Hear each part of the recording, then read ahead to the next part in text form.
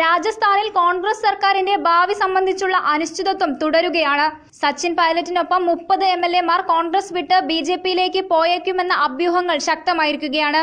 B J P സംസ്ഥാന അധ്യക്ഷൻ J P നദ്ദയുമായി സച്ചിൻ പൈലറ്റ് കൂടിക്കാഴ്ച നടത്തിയെന്നുള്ള റിപ്പോർട്ടുകളുണ്ട്.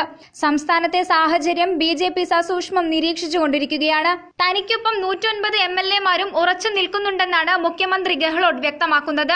അതിനിടെ ശക്തി പ്രകടനം നടത്താനിരിക്കുന്ന ഗെഹ്ലോട്ടിനെതിരെ കേന്ദ്ര ഏജൻസികളെ ഉപയോഗിച്ചുള്ള നീക്കങ്ങൾ സംസ്ഥാനത്ത് തുടങ്ങിക്കഴിഞ്ഞു. സച്ചിൻ പൈലറ്റും അശോക് ഗെഹ്ലോട്ടും തമ്മിലുള്ള തർക്കമാണ് രാജസ്ഥാനിലെ നിലവിലെ പ്രതിസന്ധിക്ക് കാരണം.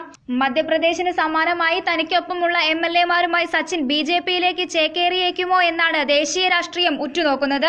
ഗെഹ്ലോട്ടും സച്ചിനും തമ്മിലുള്ള ഭിന്നത രൂക്ഷമായതോടെ കഴിഞ്ഞ ദിവസം സച്ചിൻ തനിക്കൊപ്പമുള്ള എം എൽ എമാർക്കൊപ്പം ദില്ലിയിലെത്തിയിരുന്നു. ഗെഹ്ലോട്ടുമായി ഇനി യോജിച്ചു പോകാനില്ലെന്ന നിലപാടാണ് സച്ചിൻ ദേശീയ നേതൃത്വത്തെ അറിയിച്ചിരിക്കുന്നത്. മുതിർന്ന നേതാവ് അഹമ്മദ് പട്ടേലുമായുള്ള കൂടിക്കാഴ്ചയ്ക്ക് ശേഷമാണ് ഹൈക്കമാൻഡിനെ സച്ചിൻ സന്ദർശിച്ചത്. തനിക്കൊപ്പം മുപ്പത് എം എൽ എമാർ ഉണ്ടെന്നും സർക്കാർ ന്യൂനപക്ഷമാണെന്നുമാണ് സച്ചിൻ വ്യക്തമാക്കിയിരിക്കുന്നത്. അതേസമയം തങ്ങൾക്കൊപ്പം നൂറ്റൊമ്പത് എം എൽ എമാരുണ്ടെന്ന് മുഖ്യമന്ത്രി ഗെഹ്ലോട്ടും അവകാശപ്പെട്ടു. കോൺഗ്രസിലെ ഭിന്നത പുകയുന്നതിനിടെ അശോക് ഗെഹ്ലോട്ടിന്റെ വിശ്വസ്തരുടെ കേന്ദ്രങ്ങളിൽ ആദായ നികുതി വകുപ്പ് റെയ്ഡ് നടത്തുകയാണ്. ഗെഹ്ലോട്ടിന്റെ വിശ്വസ്തരായ രാജീവ് അറോറ ധർമ്മേന്ദ്ര റാത്തോഡ് എന്നിവരുടെ വീടുകളിലും കേന്ദ്രങ്ങളിലുമാണ് റെയ്ഡ് നടത്തുന്നത്. രാജസ്ഥാൻ കോൺഗ്രസ് സംസ്ഥാന വൈസ് പ്രസിഡന്റാണ് രാജീവ് അറോറ. ഇതോടെ ഓപ്പറേഷൻ താമര രാജസ്ഥാനിലും ഫലം കാണുമോ എന്ന ചർച്ചകളും ശക്തമായിരിക്കുകയാണ്.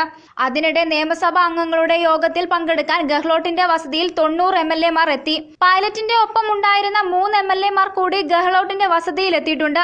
കഴിഞ്ഞ ദിവസം രാത്രിയോടെയാണ് മൂന്ന് എം എൽ സച്ചിൻ ക്യാമ്പിൽ നിന്നും തിരിച്ചെത്തിയത്. സച്ചിൻ പക്ഷത്തുള്ള മൂന്ന് എം എൽ രോഹിത് ബോറ ജേതൻ ദുതി ഡാനിഷ് അബ്രാർ എന്നീ എം എൽ തിരിച്ചെത്തിയത്. തങ്ങൾ ബി ജെ പിയിലേക്ക് പോകില്ലെന്ന് വ്യക്തമാക്കി ഇവർ കഴിഞ്ഞ ദിവസം പത്രസമ്മേളനം വിളിച്ചിരുന്നു.